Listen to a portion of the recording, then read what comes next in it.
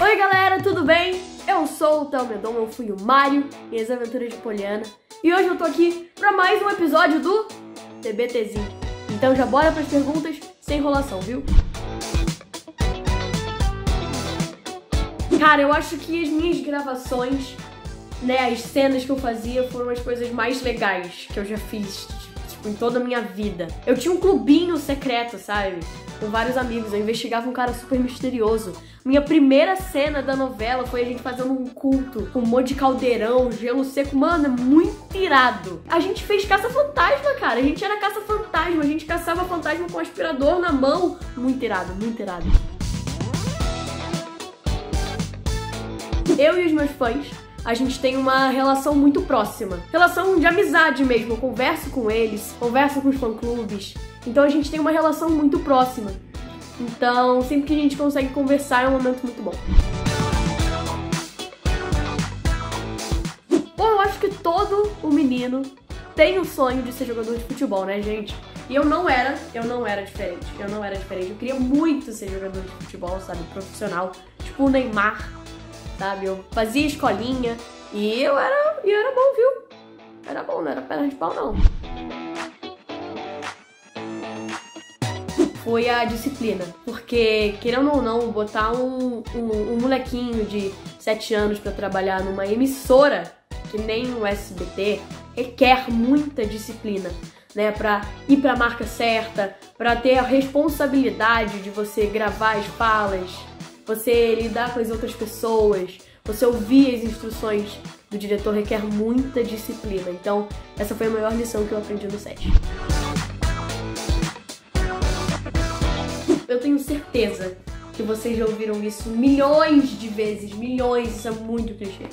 Mas sem os fãs, a gente não seria nada. É clichê, mas é real. A gente faz o trabalho para vocês, para entreter vocês, para divertir vocês. E quando vocês chegam para mim e falam, Theo, eu adorei o episódio de hoje, adorei a cena que você fez, é, é muito gratificante. Então, muito obrigado por estar sempre comigo e muito obrigado por estar dando esse feedback, motivando a gente.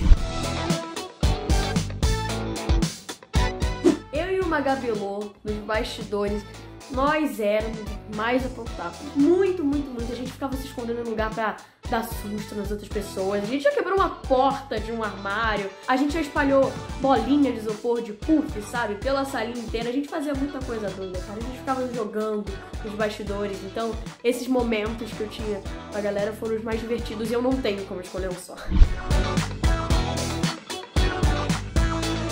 Eu acho que a coisa mais legal que eu fiz foram os amigos, as amizades que eu tenho até hoje, com tanto com os adultos quanto com a galera da minha idade. Vocês veem, né? Vocês sabem que eu tô sempre com o Igor, a gente mantém contato sempre. Eu, a Dani e o Gui Buri, né? Que são meu pai e minha mãe, o Sérgio e a Joana na novela. A gente se fala até hoje, a gente é muito amigo. Então acho que as amizades foram as coisas mais importantes que eu fiz na novela.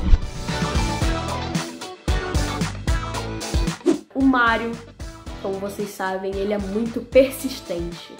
Ele não desistia nunca, mesmo ninguém acreditando nele. O Mario continuava nas investigações, mesmo ninguém acreditando nele.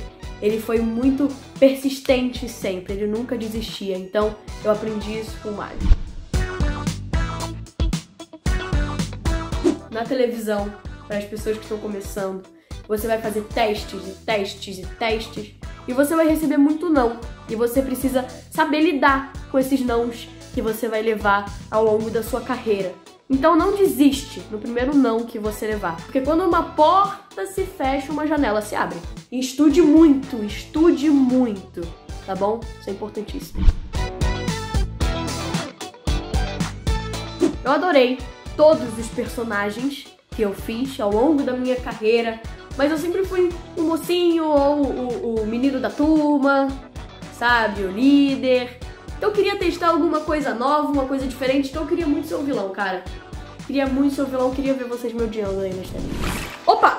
Galera, não sai do vídeo ainda não, que eu tenho um recadinho muito legal para dar para vocês. Hoje, às 19 horas, aqui no canal da TVzinho, vai estar tá rolando o segundo episódio da fantástica Máquina dos Sonhos.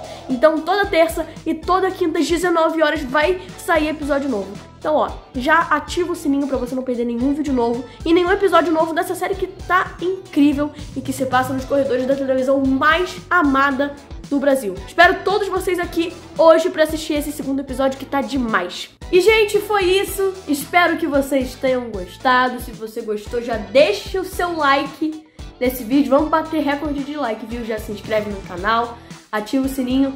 E até a próxima, galera. Falou!